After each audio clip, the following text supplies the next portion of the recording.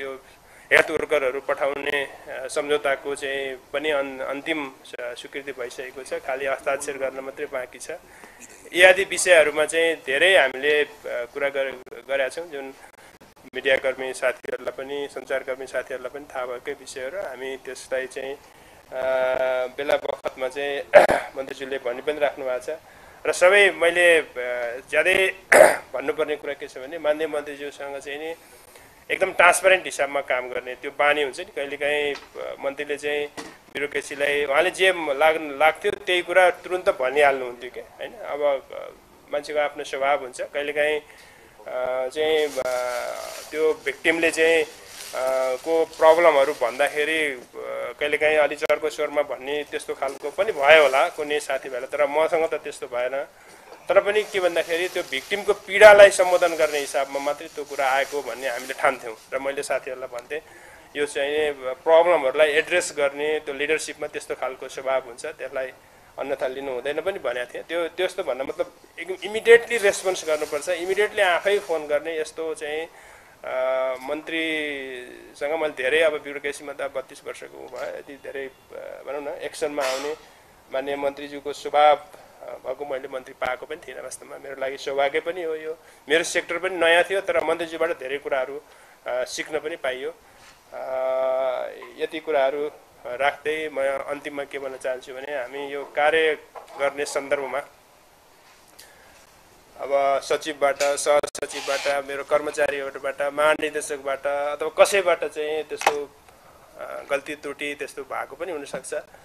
कामको शै गर्ने शैलीको सन्दर्भमा त्यो भयो भने हजुरले त्यही कामकै सन्दर्भ हो भनेर चाहिँ लिइदिनु पर्ला। अ, म सबै कर्मचारीको तर्फबाट चाहिँ त्यो कुरा पनि व्यक्त गर्न चाहन्छु। र यसलाई मैले विदाई भनिरहेको छैन किनभने existing is MP he eligible to take that means minister post भनेपछि he will be the minister again त्यो भए त्यो भए हुनाले अ, मन्त्री अ, ज्यूलाई मैले यो यसलाई फेरि हामी भेट्न सक्छौँ। अब अरू पर्सनल हिसाबमा त भेटघाट भइ नै हाल्छ। र मन्त्रीको हिसाबमा पनि फेरि पनि वेलकम गर्न सकिन्छ। अर्को ठाउँमा हुनसक्छ यही ठाउँमा हुनसक्छ। त्यो भए हुनाले यसलाई विदाई नभनिहालौँ। फेरि भेट्ने जस्तो केही यसलाई यसलाई भनौँ न यो एउटा स्वाभाविक प्रक्रिया हो। हामी पनि ट्रान्सफर हुन्छौँ रिटायर हुन्छौँ। यो यस्तै हो। यो यो जीवनमा भइ नै हाल्छ। झन् पोलिटिसियनहरूको जीवनमा झन् यस्तो कुराहरू घटनाक्रमहरू भइ नै हाल्छ। यसलाई अन्यथा लिने विषय होइन। र मान्य मन्त्रीज्यूलाई म फेरि चाहिँ शुभकामना अब आगामी दिन आगामी कार्यकाल चाहिँ एकदम सफल होस्। हामी चाहिँ हजुरले सुरु गरेका कामहरूलाई पुरा गर्छौँ र जति पनि यो मन्त्रालयमा चाहिँ कामहरू भइरहेका छन् त्यो बेलामा चाहिँ हजुरसँग हाम्रो कुनै पनि हिसाबमा सम्पर्क हुन्छ। हामीसँग पनि हजुरले सम्पर्क गरेर ती कामहरूलाई लजिकल इनमा पुर्याउने काममा हजुरको सहयोग हुनेछ र हामी पनि मन्त्री भए पनि नभए पनि हामी हजुरलाई चाहिँ त्यो खालको सहयोग गर्न प्रतिबद्ध छौँ। भन्ने कुराहरू राख्दै अ, अहिलेलाई मेरो छोटो यो मन्तव्य यहीँ टुङ्गाउँछु हस् धन्यवाद नमस्कार।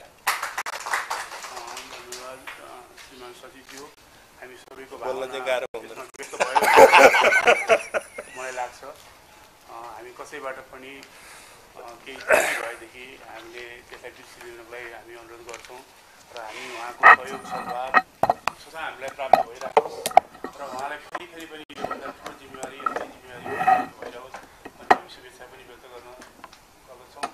र म आफैले पनि मैले मन्त्रीज्यूकै नेतृत्वमा दुईवटा टिम एउटा मार्सल टिम तर्फ छानबिन समिति दुईवटा मैले जिम्मेवारी पाएँ र मैले आफ्नै बुद्धि विवेकमा मेरो टिमको साथीहरूसहित यहाँ टिएसपी साहब मल्ल साहब पनि हुनुहुन्छ यही मैले देखिरहेको छु उहाँसहित हामीले चाहिँ त्यसमा भूमिकाहरू निभायौँ हामीले एउटा निष्पक्ष एउटा चाहिँ उहाँको भावना अनुसार हामीले आफ्नो कामहरू हामीले सम्पादन गऱ्यौँ त्यो जिम्मेवारीको लागि पनि म अहिले सम्झिन चाहन्छु र आभार व्यक्त गर्न चाहन्छु र अहिले विदायको लागि चाहिँ माला लगेर सम्मान गरिदिनुको लागि म श्रीमान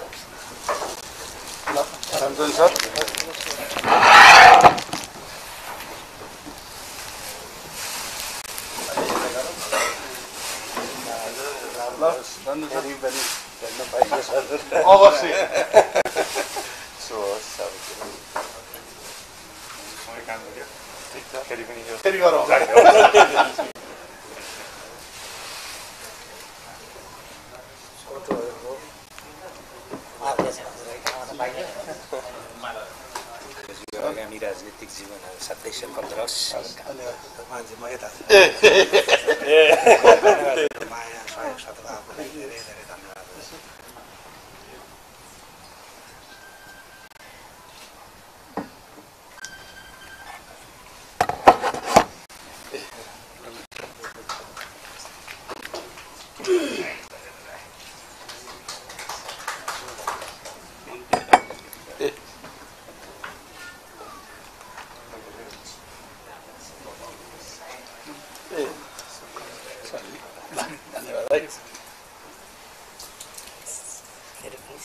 सर सर ल सर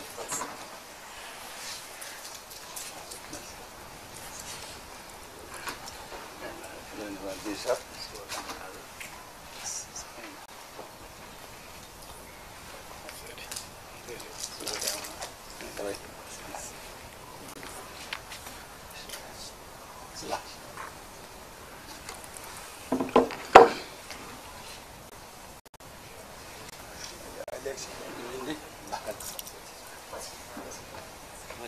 नमस्कार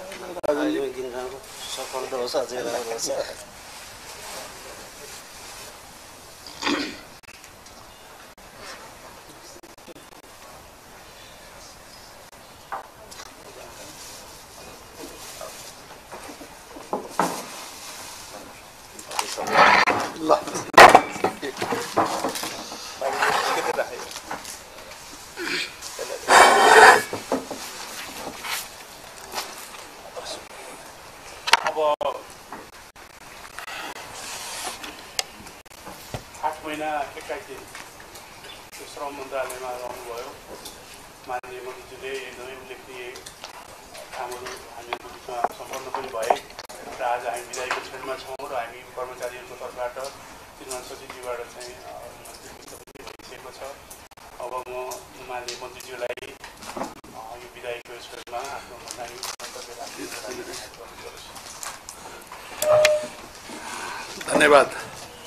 बिरेनजी अ, विदायी कार्यक्रममा उपस्थित मन्त्रालयका सचिवज्यू सहसचिवज्यूहरू महानिर्देशकज्यूहरू मन्त्रालयमा कार्यरत उपसचिवज्यूहरू लगायत सम्पूर्ण तह तब्कामा हुनुहुने कर्मचारी साथीहरू र यो श्रम मन्त्रालयकै इतिहासमा नेपाल प्रहरीको तर्फबाट युनिट खडा गरेर वैदेशिक रोजगारीमा हुने ठगीलाई नियन्त्रण गर- गर्नको लागि प्रहरी नायक उपरीक्षकको नेतृत्वमा रहनुभएका प्रहरी नायक उपरीक्षकज्यू पत्रकार साथीहरू र यस मन्त्रालय अन्तर्गत चालक साथीहरू कार्यालय सहयोगी साथीहरू सबैमा आज मेरो व्यक्तिगत तर्फबाट हार्दिक धन्यवाद दिन चाहन्छु। सर्वप्रथम तपाईँ हाम्रो जीवनमा जन्मपछि मृत्यु मिलनपछि बिछोड। यो असाध्यै सबैलाई लागु हुने कुरा हो। त्यस कारणले गर्दाखेरि यो बिचमा हामी हुन त आज विदाई कार्यक्रममा छौँ। छुट्टीको अनुभूति भनौँ न कार्यक्रम नै विदाई भनेर राखिएको छ। तर पनि त्यसो होइन। काम गर्ने सिलसिलामा केही समय भनौँ न करिब आठ महिना एक्काइस दिन तपाईँहरूसँगै बसेर काम गर्ने भनौँ न मैले धेरै कुराहरू सिक्न पाउने तपाईँहरूको बिसौँ वर्ष भनौँ न अघि सचिवले भन्नुभयो बत्तिस वर्षको यात्रा। तपाईँहरूको वर्षौँ बिसौँ वर्षको तपाईँहरूको अनुभव साटासाट गर्ने जुन मौका पाएँ यो मौका दिलाइदिनु भएकोमा सर्वप्रथम। मेरो party Nepal communist party Samajwadi का अध्यक्षज्यू लगायत सम्पूर्ण पार्टीलाई हार्दिक धन्यवाद व्यक्त गर्न चाहन्छु। सँगसँगै विश्वास गरेर यो जिम्मेवारी यो महत्त्वपूर्ण मन्त्रालयमा क्याबिनेट मन्त्रीको रूपमा नियुक्ति गरेर यो अवसर दिलाइदिनु भएकामा सम्माननीय प्रधानमन्त्रीज्यू गठबन्धनको आदरणीय नेताहरू पत्रकार साथीहरू सम्पूर्ण पार्टीका नेताका तथा कार्यकर्ताहरू सबैलाई सबै शुभेच्छुकमा हार्दिक धन्यवाद व्यक्त गर्न चाहन्छु।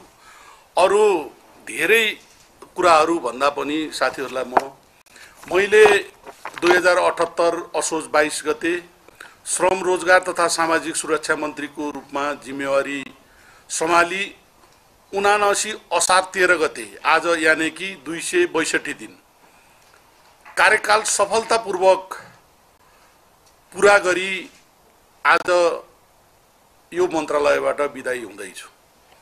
सर्वप्रथम मन्त्रालयको कामका सिलसिलामा मन्त्रालयका सचिवज्यू सहित सम्पूर्ण कर्मचारी साथीहरू पार्टीका नेता तथा कार्यकर्ता तथा सम्बद्ध सरकारवाला सबैबाट मैले सहयोग पाएँ।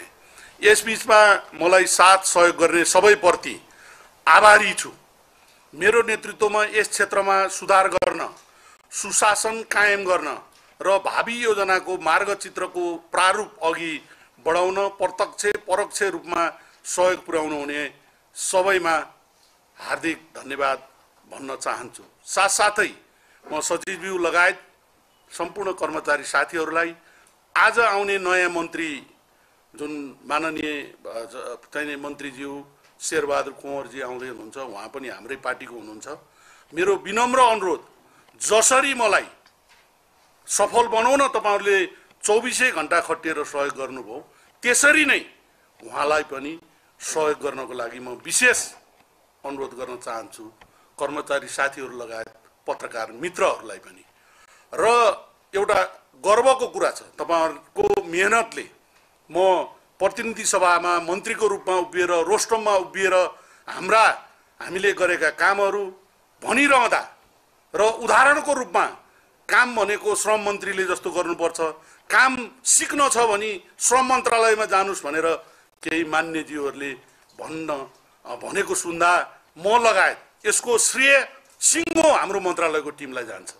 हिजो मैले राष्ट्रिय सभामा चाहिने माननीय सदस्यज्यूहरूको जवाफ दिइरहँदा तपाईँहरूलाई थाहा छ तपाईँहरूले देखिरहनु भएको छ।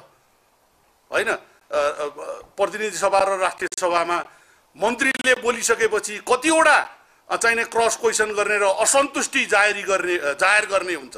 तर तपाईँहरूको सबको सहयोगले हिजो पनि राष्ट्रिय सभामा म मैले जवाफ दिइरहँदा एकजना माननीयले पनि यो यसमा यस्तो गल्ती गर्नुभयो यो के हो भनेर एकजना माननीयले सोध्नु भएन। भन्न खोजेको के हो भन्दाखेरि हामीले केही गल्ती गरेका छैनौँ। जति गरेका छौँ राम्रो काम मात्रै गरेका छौँ। यसको श्रेय सम्पूर्ण सचिवज्यू लगायत यो मन्त्रालयको टिमलाई जान्छ। किन भन्दाखेरि तपाईँहरूको सहयोगको कारणले गर्दा। र सँगसँगै यत्तिकै महत्त्व पत्रकार साथीहरूको पनि छ। किन भन्दाखेरि पत्रकार साथीहरूले यति चाहिने राम्रो रूपमा भनौँ न पोजिटिभ रूपमा हामीले गरेका राम्रा कामहरूको जसरी तपाईँहरूले सम्प्रेषण गर्नुभयो होइन त्यसले पनि हामीलाई अझ काम गर्ने ऊर्जा चाहिने थपिँदै गएको छ। त्यस कारणले गर्दाखेरि म सम्पूर्ण साथीहरूलाई फेरि पनि मैले अनुरोध गरिसकेँ। यो आज फेरि अहिले एघार बजे चाहिने नयाँ मन्त्रीज्यूको शपथ फेरि उहाँ मन्त्रीज्यूलाई लिन जानुपर्ने सचिवज्यू चाहिने लिन जानुपर्ने छ। र उहाँलाई फेरि पद बहाली गराउनु पर्ने छ। यो त फेरि कर्मचारी साथीहरूको कहिले विदाई गरेको छ कहिले स्वागत गरेको छ होइन? अब यो तर के हो भन्दा यसलाई सामान्य रूपमा लिनुपर्छ। म यस्तो व्यक्ति हुँ कि मैले यो काम गरेँ भनेर म आफूले आफूलाई नम्बर दिने व्यक्ति होइन। यो नम्बर चाहिने जनताले दिनुपर्छ। र तपाईँहरू सबैले दिनुपर्छ। त्यस कारणले गर्दाखेरि यो नम्बर दिँदै हिँड्न पनि म त्यति रुचाउन्न। हिजो मलाई म राष्ट्रिय सभाबाट निस्कि निस्कँदै गर्दा मन्त्रीज्यूले नि पत्रकार सम्मेलन गर्ने होला राजीनामा दिने होला भनेर सोध्नु भएको थियो तपाईँहरूले पनि बुझ्नु हेर्नु भएको थियो। किन भन्दाखेरि यो पत्रकार सम्मेलन गर्नुपर्ने राजीनामा दिनुपर्ने त्यस्तो अपराध किसान श्रेष्ठले गरेका छैन। त्यस कारणले यो राजीनामा दिने पत्रकार फेरि अन्यथा पत्रकार साथीहरूलाई फेरि मैले उ गर्न खोजेँ होइन फेरि यो पत्रकार सम्मेलन किन नगरे यो भन्न खोजेको मैले के हो भन्दाखेरि यो नियमित प्रक्रिया हो। मलाई मन्त्री बनाउन नेपाल कम्युनिस्ट पार्टी एकीकृत समाजवादीले चाहिने सिफारिस गरेर पठाएको हो। अनि त्यही पार्टीको सिफारिसमा सम्माननीय प्रधानमन्त्रीज्यूले हिजो राति पुनर्गठन गरेपछि स्वत चाहिने निवर्तमान भइसकेँ म। भनेपछि यो कुरो अब यो स्वत हुने कुरोलाई यसलाई चाहिने उछालेर पत्रकार सम्मेलन गरेर भनौँ न यो भनिरहन जरुरी मैले सम्झिनँ। सँगसँगै म फेरि यहाँ क्यामेरा भनौँ पत्रकार साथीहरू पनि आउनु भएको हुनाले जुन चाहिने नचाहिने चाहिने हल्लाहरू फिजाइएका छन् मन्त्री पदमा कुर्सीमा टाँसिरहनको लागि कहिले बालुवाटार कहिले खुमलटार चाहिने धाइरहे मन्त्रीहरू भनेर पनि हामीलाई आक्षेप आएको छ। खालि हामी मन्त्रीहरूको भनाइ के हो भन्दा यो लोकतान्त्रिक पद्धतिमा हामीले बजेट पा पेस गरिसकेपछि बजेटको चाहिने माननीयहरूले सोध्ने प्रश्नको उत्तर पनि हामीले दिन पाऊँ भन्ने मात्रै हाम्रो कुरा हो। यहाँ त लौ चाहिने टाँसिनलाई पार्टी छोड्छ अरे यो चाहिने एकदम चाहिने मन्त्री छोड्नै ला छैन अरे प्रधानमन्त्रीलाई प्रेस अरे यो केही होइन। पत्रकार साथीहरूलाई विशेष गरी यो मैले यो यो मैले भन्नै जरुरी भयो। किन भन्दा तपाईँहरूलाई थाहा छ त्यसमा पनि मेरो व्यक्तिगत रूपमा तपाईँहरूलाई थाहा छ। अहिले हेर्नुहोस् मन्त्री चढ्ने भन्दा ठुलो गाडी चढेर म आएको छु। किन भन्दा मलाई यो मन्त्री पदमा टाँसिरहनु मन्त्री भएर पैसा कमाउनु या त्यस्तो मेरो केही लोभ लालच छैन। खालि भन्न खोजेको के हो भन्दा हिजो जति अ, चाहिने भनौँ गौरवका साथ राष्ट्रिय सभाको रोस्टममा बसेर हामी मन्त्रालयले सिङ्गो सचिवज्यू लगायत भनौँ सहसचिवज्यूहरू अ, चाहिने महानिर्देशकज्यूहरू तपाईँ हामी सबै बसेर आठ महिना एक्काइस दिन गरेका कामहरू सगौरव चाहिने भन्न पाइयो। यही हो सबभन्दा ठुलो कुरो। त्यस कारणले गर्दा फेरि पनि यहाँ मसँग धेरै बुदाहरू छन् धेरै कामहरू भएका छन्। खालि विनम्रताका साथ म साथीहरूलाई आउने नयाँ मन्त्रीलाई म पनि भनौँला तपाईँहरूले पनि विशेष गरी सचिवज्यूले हामीले श्रमिक अस्पतालको लागि जितपुर सिमरा उपमहानगरपालिकामा चाहिने हामीले जग्गा दिपक सरकत जानुभयो जग्गा पहिचान गरिसकेका छौँ। करिब पाँच बिघाभन्दा जग्गा बढीको चिठी अ, नगरपालिकाले लेखेर पठाइसकेको छ। सँगसँगै ताचलमा भएका चाहिने विकृतिदेखि लिएर श्रमिकहरूले दुःख पाउने अवस्थाको अन्त्यदेखि लिएर हाम्रो श्रम विभागले गर्ने वैदेशिक रोजगार विभागले गर्ने लगायत हामीले जुन सामाजिक सुरक्षा कोष होइन वैदेशिक रोजगार बोर्डबाट हुनुपर्ने हामीले जति सक्दो कामहरू जस्तो सामाजिक सुरक्षा कोषलाई सातवटै प्रदेशमा हामीले चाहिने सम्पर्क कार्यालय स्थापना गर्नेदेखि लिएर अनौपचारिक क्षेत्रलाई चाहिँ पनि हामीले समेट्ने गरेर हामीले योजनाहरू धेरै अगाडि बढाएका छौँ। करोडौँ रुपियाँ चाहिने ठगिएको पैसा चाहिने हामीले असुल वैदेशिक रोजगार विभागको चाहिने महानिर्देशकको नेतृत्वमा करोडौँ पैसा ठगिएको पैसाहरू हामीले असुल उपर गर्न सफल भएका छौँ। त्यति मात्र होइन नेपालको इतिहासमा चाहिने नेपाली सोझा साझा श्रमिकहरूलाई ठगेर वैदेशिक विदेशमा बस्दाखेरि म सुरक्षित हुन्छु भन्ने जुन चाहिने सोचाइ दलालहरूको थियो ती दलालहरूलाई रेड कर्नर नोटिस जारी गरेर हामीले चाहिने नेपाल ल्याउने सम्मको चाहिने प्रक्रियामा सफल भएका छौँ। त्यस कारणले गर्दाखेरि म फेरि पनि धेरै कुराहरू नभनिकन जति कुराहरू यो हुन त अब केही हप्ता केही दिनभित्र आगामी निर्वाचनको मिति पनि घोषणा हुनसक्छ।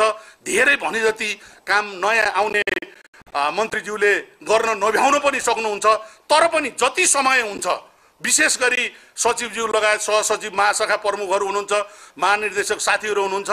तपाईँहरूले जति सक्दो जस्तो श्रमिक अस्पतालदेखि लिएर यो सातवटै प्रदेशमा चाहिने के अरे सामाजिक सुरक्षा कोषको सम्पर्क कार्यालय खोल्नेदेखि लिएर हामीले अस्ति भर्खरै भैरवामा चाहिँ अन्तर्राष्ट्रिय गौतम बुद्ध अन्तर्राष्ट्रिय विमानस्थल भनौँ न भैरवामा पनि हामीले वैदेशिक रोजगारीको लागि जानको लागि वैदेशिक रोजगार कार्यालय स्थापना गरेका छौँ। केही समयमा पोखरामा पनि गर्नेछौँ सँगसँगै शाखा खोल्नेदेखि लिएर यो यो क्षेत्रमा भएको विकृतिको लागि तपाईँहरूले मैले फेरि पनि तपाईँहरूलाई विशेष जोड दिएर भन्न चाहेँ जसरी किसान श्रेष्ठलाई कृष्ण कुमार श्रेष्ठलाई किसानलाई जसरी तपाईँहरूले सहयोग गर्नुभएको थियो त्यसै गरी नयाँ आउने मन्त्रीलाई पनि सहयोग गरेर सफल बनाइदिनुको लागि हार्दिक चाहिने अनुरोध गर्दै आज छोटो समयमा भनौँ न हिजो बेलुका अ, चाहिने राष्ट्रपति कार्यालयबाट चाहिने सूचना भनौँ न प्रेस विज्ञ विज्ञप्ति आइसकेपछि सचिवज्यूले फोन गरेर अब मैले त भनेको थिएँ यो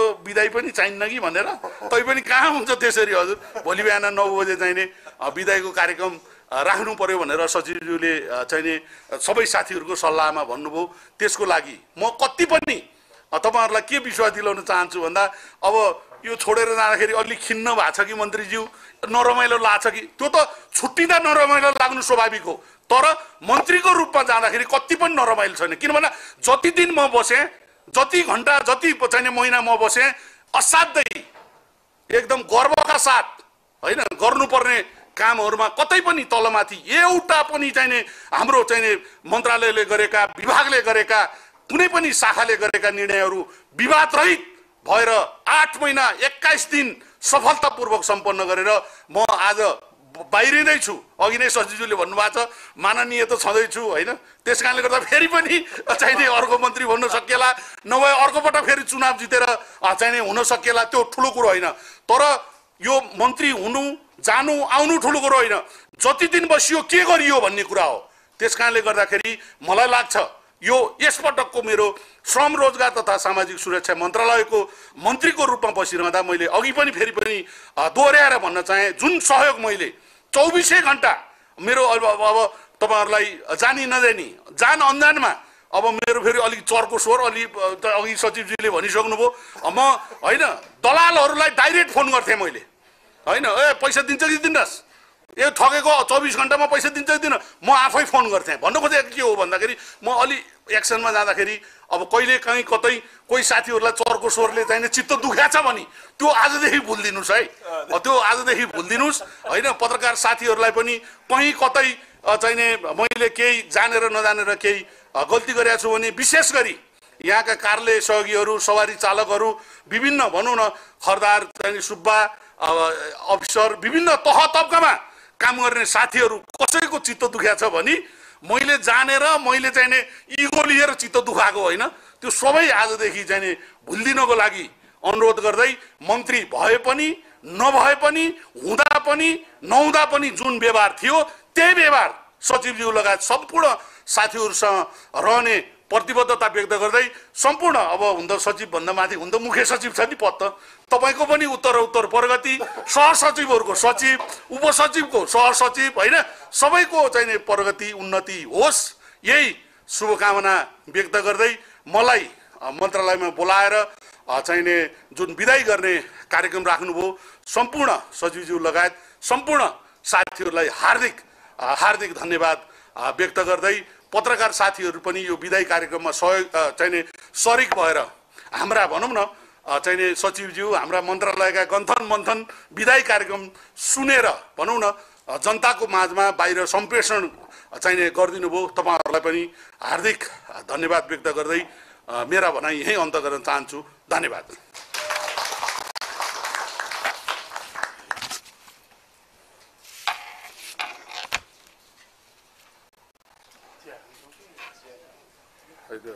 दस बजे तपाईँहरूले ढिलो लागि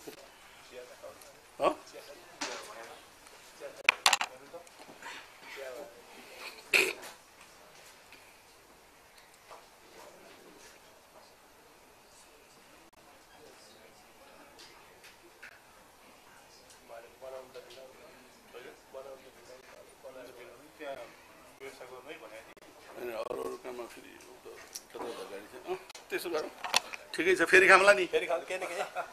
होइन?